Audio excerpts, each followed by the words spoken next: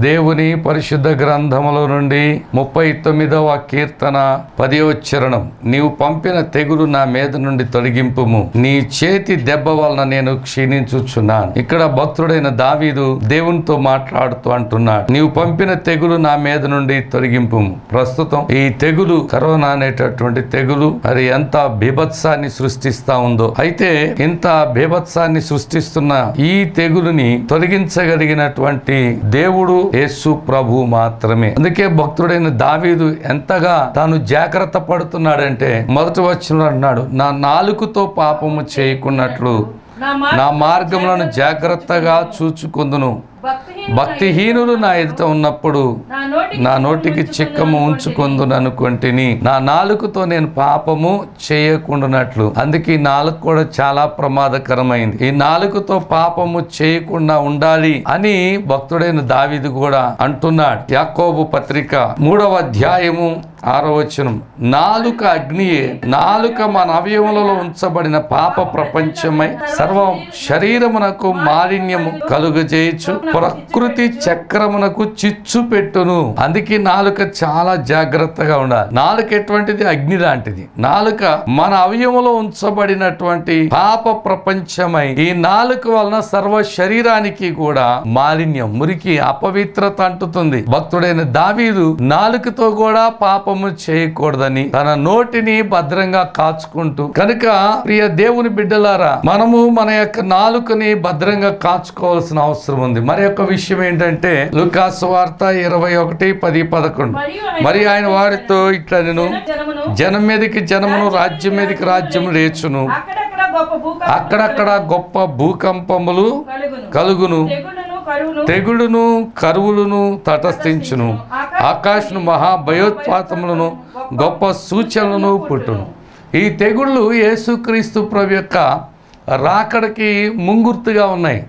యేసు ప్రభు రాకడికి ముందుగా అక్కడక్కడ గొప్ప భూకంపాలు కలుగుతాయి తెగుళ్ళు కూడా వస్తాయి కరువులు కూడా తటస్థిస్తాయని యేసు ప్రభు చెప్పారు. కనుక ఈ తెగుళ్ళు యేసు ప్రభు రాకడికి ముంగుర్తుగా ఉన్నాయి యేసు ప్రభు వచ్చే ముందు భూమి మీద ఇలాంటివన్నీ కూడా సంభవిస్తాయి అని మనం చూస్తా ఉన్నాం. ప్రియ దేవుని బిడ్డలారా మరి ఈ తెగుడు వలన మనము దేవుని దగ్గర అడిగి క్షమాపణ పొందాల్సిన అవసరం ఉంది. దేవుని దగ్గర ప్రార్థన చేయవలసిన అవసరం ఉంది. కనుక ఈ యొక్క శ్రమల వలన దేవుని దూషించే పరిస్థితి కాకుండా దేవుణ్ణి మహిమపరచవలసిన అవసరం ఎంతైనా ఉంది. కనుక ఈ సమయంలో ఒక విషయం గుర్తు పెట్టుకోండి ఏమిటంటే ఈ తెగులు తొలగించబడాలని ప్రార్థన చేయాలి. దావీదు భక్తుడు అన్నట్లుగా. ఈ తెగులు యేసుక్రీస్తు ప్రభు యొక్క రాకడికి సమీపంగా దానికి ముంగుర్తుగా ఈ తెగుళ్ళు వస్తాయి భూకంపాలు వస్తాయి అని దేవుని వాక్యంలో మనం చూస్తూ ఉన్నాం. కనుక ఈ యొక్క ప్రపంచంలో ప్రస్తుతం ఈ సూక్ష్మ క్రిమి ఈ తెగులు తొలగిపోనట్లుగా మనందరం కూడా ప్రార్థన చేయాలి. యేసు ప్రభు పొందిన దెబ్బల చేత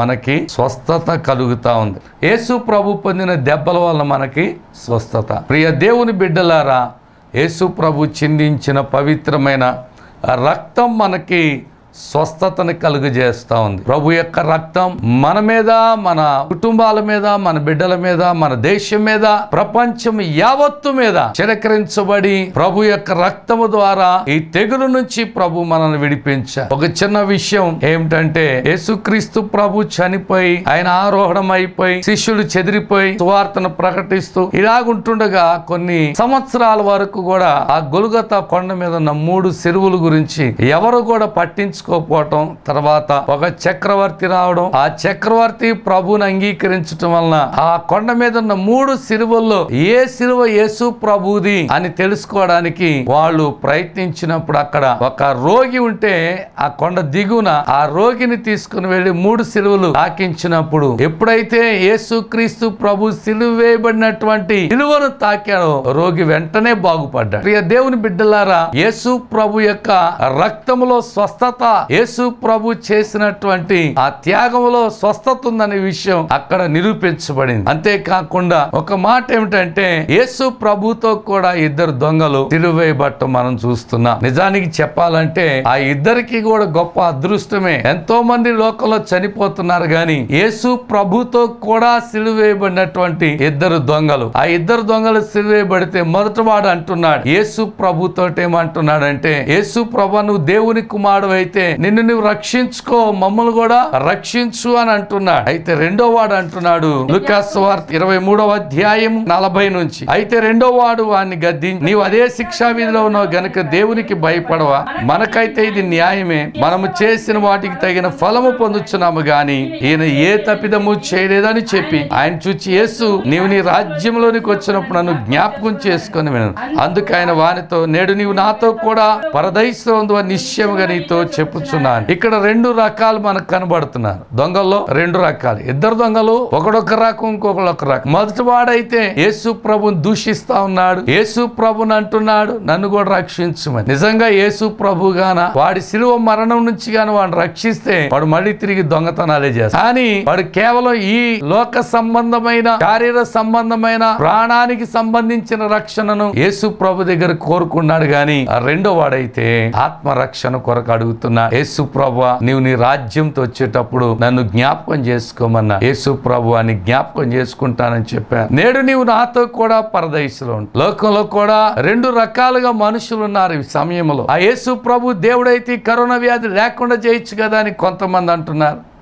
కొంతమంది ఏమన్నా యేసు ప్రభు దగ్గర ప్రార్థన చేస్తున్నారు మోకాళ్ళ మీద పడి. ప్రియ దేవుని బిడ్డలారా మనము దేవుణ్ణి శాసించగలిగినటువంటి వారు కాం. నిజానికి మనమే ఉన్నాం. ఒక చిన్న చీమని ఏమన్నా లక్ష్య పెట్టగలమా? లక్ష్య పెడతామా అసలు? అయితే ఈ సర్వ సృష్టిని సృష్టించిన మహా విశాల ప్రపంచాన్ని సృష్టించిన ఆ దేవుణ్ణి శాసించగలిగినటువంటి మానవులుగా ఉన్నాం మనం. మనం ఏ పార్టీ వారు? ఆయన కృప కొరకు వేడుకొనవలసిన వారమే గాని ఆయన్ని శాసించి ఆయన మీద ఆధిపత్యాన్ని చలాయించే శక్తి మనకు లేదన్న విషయం మానవులు గుర్తుపెట్టి అందుకే దేవుని వాక్యం చెప్పింది. నువ్వు మనుషుని జ్ఞాపకం చేసుకోవటానికి వాడు ఏ పాటి వాడు? ఏ పాటి వాళ్ళం మనం? కనుక అయా ఈ తెగులు మా మీద నుంచి తొలగించు అని ప్రార్థించినప్పుడు దేవుని కృప మనకు దొరుకుతుంది. ఈ భయంకరమైన పరిస్థితుల నుంచి విడుదల పొందుతాం. రెండవ దొంగ పశ్చాత్తాపడినట్లుగా మనం చూస్తున్నాం. యేసు ప్రభుతో ఇద్దరు దొంగలు సిలివేయబడ్డారు. దొంగతనం మందు పట్టబడ్డారు. వారు చట్ట వ్యతిరేకమైన పనులు చేయటం వారు పట్టబడి సిలువేయబడ్డారు. అయితే ప్రియ దేవుని బిడ్డలారా వారిలో ఒకరికేను పశ్చాత్తాపం ఒక్కడేను నేరారోపణ నేను అంటున్నాను నేరారోపణ చేసే వారి సంఖ్యలో ఉన్నామా? పశ్చాత్తాపడే వారి సంఖ్యలో ఉన్నామా? పశ్చాత్తాపడే వారిని ప్రభు కనికరిస్తున్నారు. నేరారోపణ చేసే వారితో ఒక్క మాట కూడా యేసు ప్రభు మాట్లాడు కనుక ప్రభు కృపాసనం దగ్గరకు వచ్చి ఆయన కృపను వేడుకుందాం ప్రార్థన చేసుకుందాం. శుద్ధుడు అయిన యేసు ప్రభు మీకు వందనాలు స్తోత్రాలు నాయన. వర్తమానం కొరకై వందనాలు. నా నాలుగుతో పాపము చేయకున్నట్లు నా నోటిని కాచుకున్నానన్నాడు. భక్తిహీనులు నా కంటబడినప్పుడు సహా నేను మౌనంగా ఉన్నానన్నాడు. లోకలు ఎంతోమంది అంటున్నారు యేసు ప్రభు దేవుడైతే ఈ కరోనా తెగుల నుంచి మరి విడిపించమని కరోనా తెగుల్ని అరికట్టమని ఎన్నో రకాల వ్యాఖ్యానాలు వింటున్నా. ప్రభువా ఈ తెగుల్ని విడిపించగలిగిన దేవుడు నీవే. అయితే ఈ తెగుళ్ళన్నీ కూడా నీ రాకడికి ముంగుర్తిగా ఉన్నాయని లుకాస్ వార్తలో మేము చూస్తున్నాం. మీరు ఈ భూలోకానికి వచ్చే ముందు భూకంపాలు వస్తాయి తెగుళ్ళు వస్తాయి భయోత్పాతాలు కలుగుతాయని మీరు సెలవిచ్చారు. ఇవన్నీ జరుగుతానేమన్నాయి ఇవన్నీ చూస్తున్నప్పుడు ఇదిగో తండ్రి సిలువ వేయబడినటువంటి ఇద్దరు దొంగల్లో ప్రభు ఒకరైతే నాయన ఓ తండ్రి మరి ప్రభు పశ్చాత్తాపడుతున్నాడు. ఒకడైతే మరి నీవు నీవు రక్షించుకో మమ్మల్ని కూడా రక్షించు అంటున్నాడు. దేవా నేరారోపణ చేసేవారిగా కాక పశ్చాత్తాపడేవారిగా ఉండగలుగుటకు నీ కృపా దీవెనతోడు దయచేయమని ఎత్తుబడిన వాక్యానికి ముద్ర వేయండి వీక్షిస్తున్న బిడ్డలందరినీ దీవించండి.